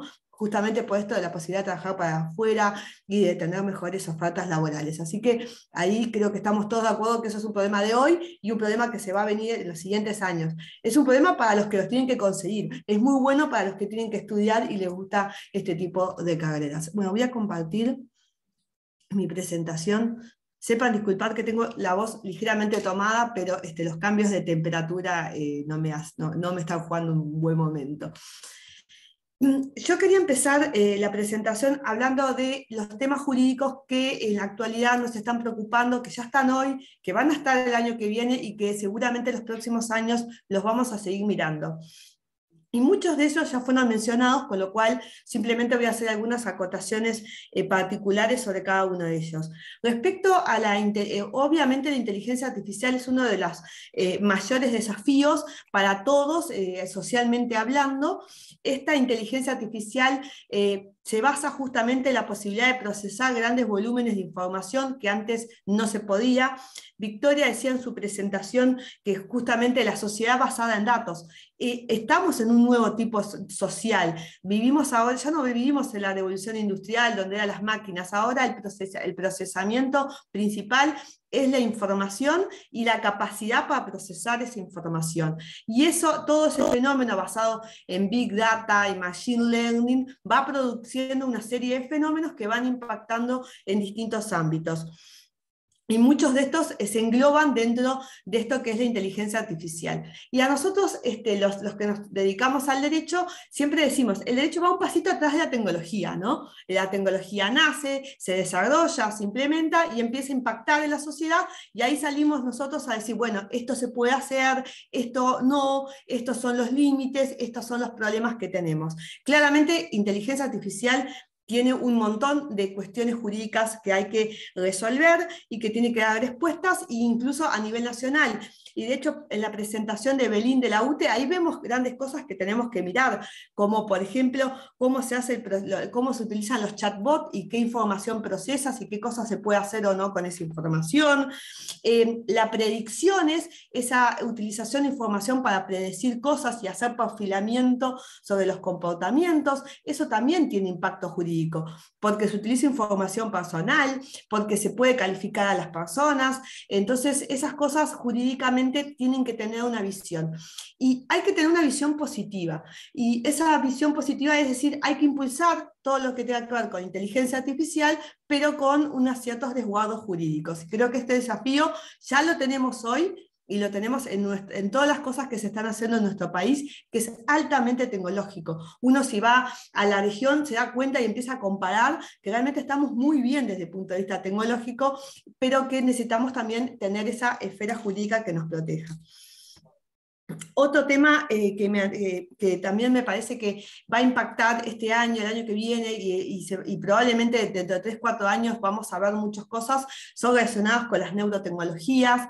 Em, hay muchos desarrollos de implementación de em, eh, herramientas sobre el, comportamiento humano, entonces empiezan a desarrollar soluciones, por ejemplo, sobre neuroliderazgo, por ejemplo, cómo un empleador puede conocer cómo funcionamos las personas y empezar a darnos órdenes en base a eso, y esto en el ámbito laboral está impactando directamente sobre la forma de trabajo y desde el punto de vista jurídico empiezan a generarse ciertos desafíos. El empleador está bien que utilice eh, la neurociencia para determinar cómo darle órdenes a sus empleados. Los empleados consienten que sean analizados desde un punto de vista neurológico para entender mejor su funcionamiento y no les hablo del ámbito penal, donde incluso se puede predecir si esa persona podría llegar a cometer un delito, que eso, este, como decía una de mis compañeras en la presentación, era de película, pero ahora ya no lo es, y se están empezando a ver incluso algunas sentencias en otros países donde, se donde los abogados dicen, bueno, pero esta persona eh, tenía, tiene este perfil cerebral, entonces tenía un 80% de chances de haber cometido este delito penal, un homicidio, una, este, unas lesiones físicas. Bueno, Realmente la tecnología que nos permite ese análisis nos permite hacer ese tipo de cosas y ver las consecuencias al respecto. Esto está pasando. En Uruguay hay alguna opción ahí de cuestiones de neurotecnología, pero este, aún no hemos llegado a tanto, pero estamos ahí, ya está llegando. Metaverso, que lo mencionó este, creo que Ana María en la, última presentación, aunque se pronostica que en realidad los metaversos van a estar este, presentes dentro de 20 años, sí ya hay algunos desarrollos y uno ya puede este, un poco em, ver qué es lo que está pasando, cómo funcionan estas herramientas, tiene una cantidad de desafíos jurídicos enormes. Eh, por ejemplo, ¿qué pasa con la privacidad? ¿Qué pasa con nuestra identidad? O sea, ¿somos nosotros o yo puedo generar un muñeco que sea rubio de ojos azules o o puedo hacer un osito en el metaverso si quisiera, y bueno, eh, eh, tenemos que ser nosotros efectivamente o podemos ser otra cosa. Y si somos, tenemos otra identidad. ¿Qué pasa cuando compramos? Porque en el metaverso se va a poder comprar, va a haber posibilidad de utilizar criptomonedas. ¿Qué valor tiene eso? Yo puedo tener, ¿qué pasa con las relaciones entre las personas? Ya ha habido discusiones sobre si hay posibilidad de haber violencia eh, sexual, violencia personal en el metaverso. Entonces, todo eso genera discusiones y, no está alejado en nuestro país. Y les cuento, eh, y ahí me cambio un poco mi sombrero de profesor de hecho informático de la Universidad de la República, que eh, se hicieron jornadas ya para empezar a discutir desde el punto de vista jurídico qué normas uruguayas nos amparan en el metaverso. Entonces, qué garantías constitucionales y qué garantías legales tenemos, y esto es una discusión que empezó este año, pero que seguramente se irá profundizando el año que viene. Un tema, otro tema que a mí este, me preocupa y que después si alguien hace alguna pregunta sobre alguna de estas cosas que voy mencionando rapidito porque nos hemos pasado un poquito de horario, es el tema de la biotecnología y la utilización de tecnología en el ámbito em, físico de las personas. Em, la pandemia ha impulsado mucho también este ámbito, hay muchas soluciones de telesalud y hay muchas aplicaciones de salud que ahora están disponibles, em, y por ejemplo, desde recuperación de lesiones físicas, este, por ejemplo, de las cuales nos recaban datos y esos datos se las pasa al médico, desde la posibilidad de hacer consultas, hasta esto que salió el otro día en la televisión, que nuestro amigo este, de, em, Elon Musk de Neuralink ya dijo, bueno, yo ya puse el primer implante cerebral. Bueno, creo que eso también tiene una serie de desafíos jurídicos sobre qué pasa con nuestros datos de salud, em, qué pasa con eh, la información que se recaba. Yo quiero que mi información termine en un país que no me protege los derechos y que va a utilizar mi información de cualquier manera. Bueno, em, eh, ¿qué tan invasivos sobre nuestro cuerpo eh, podemos ser con estos temas de biotecnología? Entonces, realmente estos temas también están teniendo muchas preguntas desde el ámbito jurídico. Eh, varias de las presentaciones anteriores también hablaban sobre el tema de migrar hacia la nube. Esto es una preocupación tanto del ámbito público como del ámbito privado, eh, porque se ve con muy buenos ojos migrar hacia la nube, porque tengo más capacidad para este, utilizar información, porque me deshago de una cosa que si no tuviera que desarrollar económicamente un montón de servidores y seguridad, etc. Entonces yo tercerizo todo esto, pero eso tiene una serie de cuestiones jurídicas, como eh, qué tipo de información queremos que, o vamos a permitir que se migre a la nube. Por ejemplo, la información sobre seguridad del Estado la podríamos migrar hacia la nube, em, la defensa nacional la podríamos migrar hacia la nube pensando en un ámbito público, em, las instituciones de salud podrían poner las historias clínicas en un data center que no sabemos dónde está.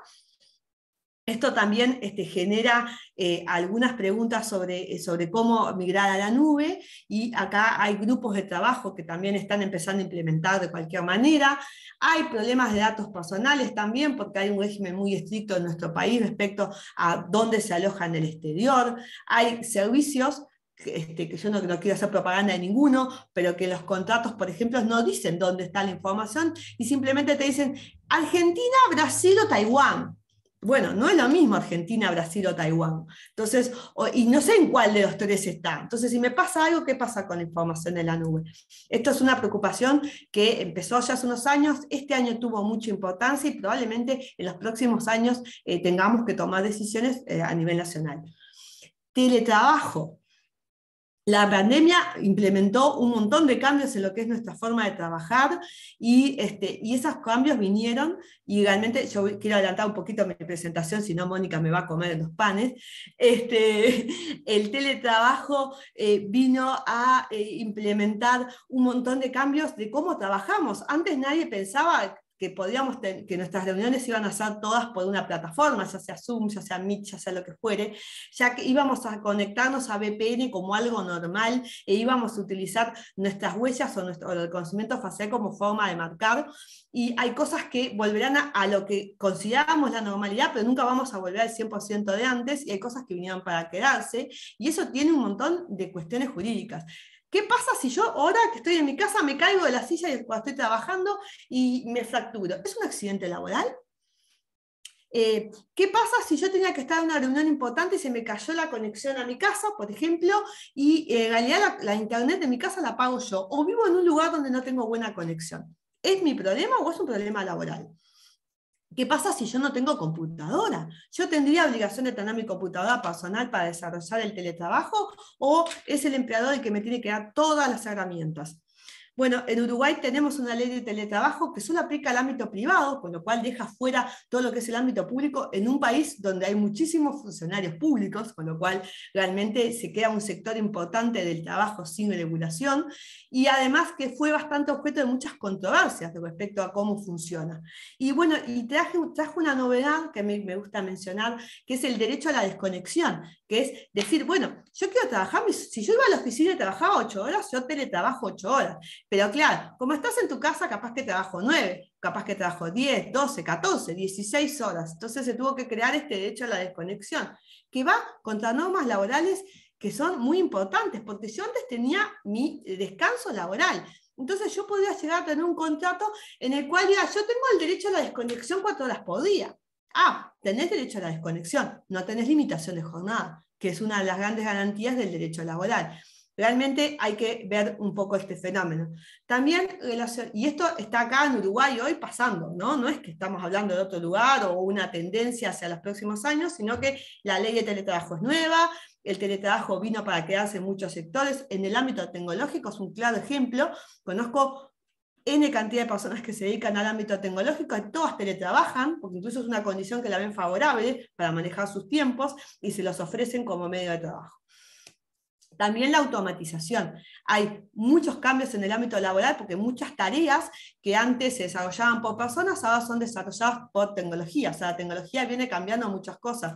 Evelyn mencionaba los tótems, ¿no? Bueno, antes en los edificios estaba el señor ahí aburrido que uno lo veía que trabajaba ocho horas por día viendo que entraban las personas y salían. Ahora hay un tótem que además la persona me contaron no es de verdad, sino que es una persona que te muestra linda ahí, pero en realidad cuando te atiende, te atiende otra persona. Así que ahí tenemos un cambio laboral, tenemos eh, eso genera problemas, ¿no? ¿Qué pasó con toda esa gente que ya no trabaja? ¿Se jubiló? ¿Cambió? Hay problemas de, ¿qué, hacemos con, con, los derechos sociales de todas esas personas? Para hablar del ejemplo Totem, podría mencionar también los cajeros. ¿Cuántos vamos al supermercado y ahora no vamos a hacer la, cola en el cajero, sino que vamos al cajero automático, pasamos los productos y nos vamos rápidamente? ¿Qué pasa con las tiendas, que me parece que fue Ana María que lo mencionó, se están virtualizando y hoy ya no, yo no voy a la tienda a comprar, sino que compro en línea porque ya puedo ver el tamaño, el color, y si el peor de los casos necesito solo una persona que me lo cambie. Bueno, eso también tiene una serie de desafíos jurídicos, sobre todo en el ámbito laboral, que están pasando hoy acá en Uruguay y que hay que mirar qué hacer. IoT todo se conecta a Internet, la domótica, que es lo que hace que la heladera, la aspiradora, la televisión, eh, todo se conecta a Internet, es, precioso, está bárbaro, pero todo eso también da información. Si yo, si yo por ejemplo, digo, bueno, mira, yo llego a mi casa a las 5, entonces para las 5 voy a hacer que este, tenga agua caliente para poder bañarme, eh, esté el piso limpio, como decía Evelyn, vamos a, ponerle este, la aspiradora, quiere decir que yo puedo, yo puedo saber que llego a mi casa todos los días a las 5 de la tarde. Bueno, ¿qué pasa con toda esa información que se va recolectando y subiendo? ¿Y quién la utiliza y cómo la utiliza y para qué la utiliza? Son preguntas jurídicas que eh, necesitan eh, eh, respuesta.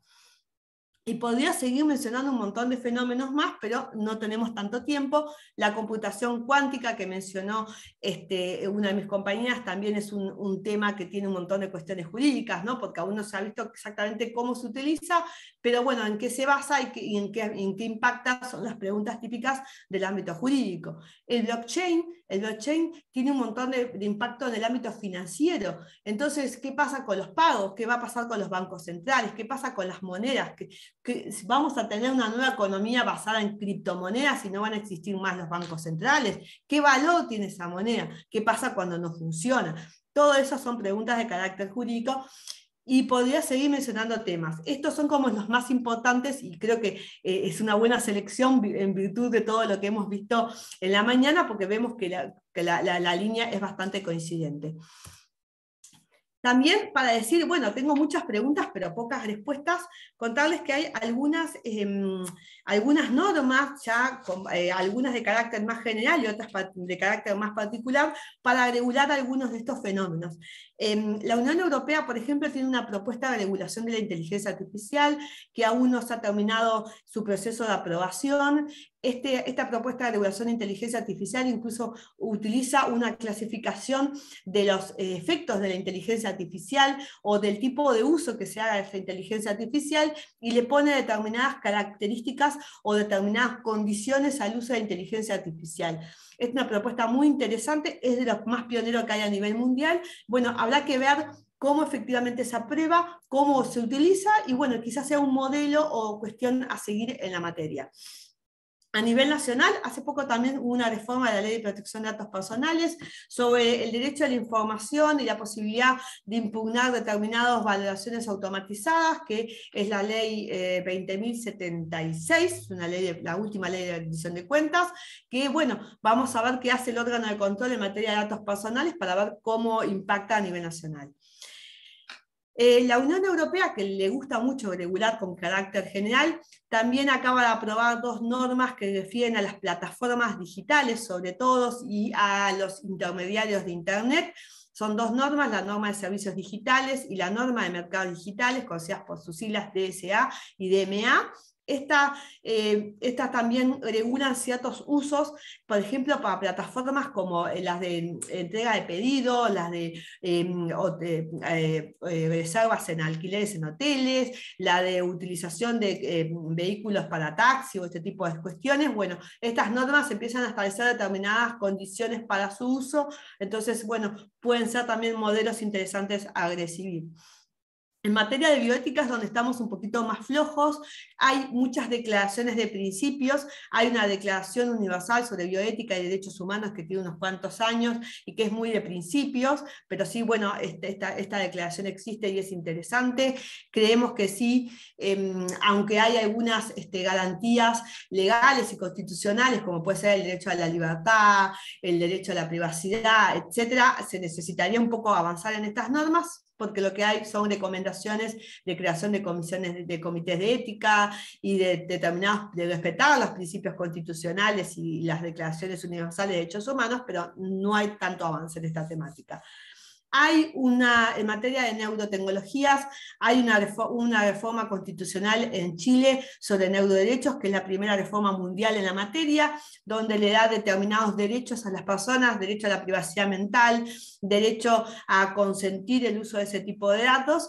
Eh, tiene la particularidad de que esta norma, em, la constitución chilena estuvo, no fue aprobada por su régimen de aprobación constitucional, con lo cual esto que estaba dentro aún está esperando un poco a ver qué pasa pero sí fue, hay mucho interés internacional en ver un poco cómo, em, eh, eh, cómo va a seguir esta temática para ver si es un modelo a seguir en materia de neuroderechos, pero sí se entiende que en esta materia es necesario regular y avanzar rápidamente porque la neurotecnología está tomando muchos campos y está invadiendo mucho eh, la actividad de las personas y realmente no hay una respuesta jurídica aún suficientemente fuerte.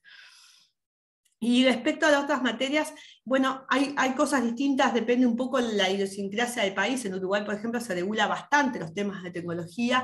Generalmente hay este, eh, mucha regulación impulsada por la Agencia de Gobierno Electrónico y por los órganos de control sectoriales, pero este, hay cosas que hay que dejar eh, libre y empezar un poco a ver qué pasa. Sí es cierto que todos los años tenemos novedades en materia jurídica y tecnológica en Uruguay, con lo cual creemos que eh, somos bastante vanguardistas en, estos temas y, y estamos bien. Y como yo no podía dejar pasar el momento, también quería hacer algunas reflexiones sobre qué hacemos mientras no tenemos normas, ¿no? Y bueno, y acá un poco también mi rol está ahí en UTE cuando hablo un poco de qué pasa o qué respuestas damos a los fenómenos tecnológicos cuando eh, no tenemos una norma tan clara. Y ahí podemos recurrir siempre a la ética, ¿no? Y la ética en la sociedad tecnológica claramente tiene un rol fundamental porque ah, eh, pensemos que la ética lo que nos sirve es para orientar una conducta humana, ¿no? O sea, decirnos qué está bien y qué está mal y cómo como sociedad debemos reaccionar ante una tecnología, ¿no? Y este, una, eh, decía Mónica cuando me presentaba, bueno, Flavia nos va a bajar a tierra. Bueno, yo lo que les voy a decir es que con tecnología podemos hacer todo, como dijeron mis compañeras antes, ¿no? Hay grandes posibilidades tecnológicas. Ahora, tenemos que ver si queremos, qué queremos y no queremos desde el punto de vista social. ¿Por qué? Porque vamos a tener que tomar eh, la privacidad, la accesibilidad, la intromisión hacia nuestros derechos y, bueno, y con esa visión ética determinar qué soluciones se pueden hacer y qué soluciones no se pueden hacer. Por ejemplo, hay muchas cuestiones relacionadas con perfilamiento eh, eh, de las personas que generan muchas este, preguntas de punto de vista ético. Está el problema de los sesgos en la inteligencia artificial, que es una de las grandes problemáticas que hay. Y bueno, en esos casos, aunque no tengamos norma, siempre vamos a poder acudir a la ética que todos tenemos y en las cuales todos estamos formados y donde la sociedad dice esto es lo que podemos hacer y esto no lo podemos hacer, de forma de que la tecnología pueda avanzar y además se pueda garantizar los derechos de las personas. Y em, justo cuando estaba preparando esta presentación me topé con esta frase que se las quiero leer como, como para dar un, un cierre a la presentación, que dice que es indispensable un equilibrio entre la ética y los avances tecnológicos. No se puede concebir que los conocimientos e invenciones sigan progresando sin unas bases lógicas y morales para la implementación de la inteligencia artificial. Así, de esta forma, se garantizará la protección y el mayor beneficio de la humanidad. Por tanto, este, tenemos un montón de avances tecnológicos, tenemos algunas normas, algunas respuestas eh, de carácter legal, tenemos algunas otras respuestas de carácter jurídico y tenemos que manejarnos con eso, con, este ámbito. Eh, esa era un poquito mi presentación. Quiero decir que, que, comparto muchas de las conclusiones desde el punto de vista tecnológico de mis compañeros y también decir que en Uruguay todos estos fenómenos se están dando y que em, necesitamos este, también este, mayor habilidades desde nuestra población para respuesta a todo este tipo de cosas que estamos teniendo y que bueno, hay un montón de estadísticas que podemos recubrir, pero que claramente tenemos seguir trabajando todos en forma conjunta, como creo que decía este, Victoria y comienzos. Esta realidad se trabaja desde todos los puntos de vista y está muy buena y bueno, vamos a tener un año muy interesante en materia tecnológica. De mi parte, no quiero agobar más tiempo, muchas gracias. Bueno, Flavia, muchísimas gracias por tu presentación. Por lo que veo, va a seguir habiendo mucho trabajo para los abogados, porque esto va a seguir creciendo, creciendo. Así que, bueno, los abogados que no tengan trabajo, pueden, un consejo sería súmense al área de las tecnologías de la información, porque ahí sí van a tener mucho trabajo. Bueno, quiero agradecerles muchísimo a todas. No nos ha quedado mucho tiempo para, para preguntas, pero hemos recogido algunas que les haremos llegar no quiero abusar, realmente estimé mal la, presentación en cuanto a la hora, estimé una hora y 15 minutos y bueno, realmente, mm, pero me quedo contenta de que haya sido para este lado la cosa. Eh, y que haya sido tan enriquecedora. Eh, muchísimas gracias, Victoria, eh, Sofi, Evelyn, eh, Flavia y Ana María por haberse sumado y por bueno, haber sido este primer puntapié de, desde nuestra carrera de licenciatura en tecnologías de la información, poder acercar este, estas, estos espacios de, intercambio. Seguramente el mejor, el próximo nos va a salir este, mejor y vamos a mejorar el tema del tiempo. Muchísimas gracias y bueno, buenos días para todos. que pasen muy gracias, que pasen bien. Hasta luego, gracias.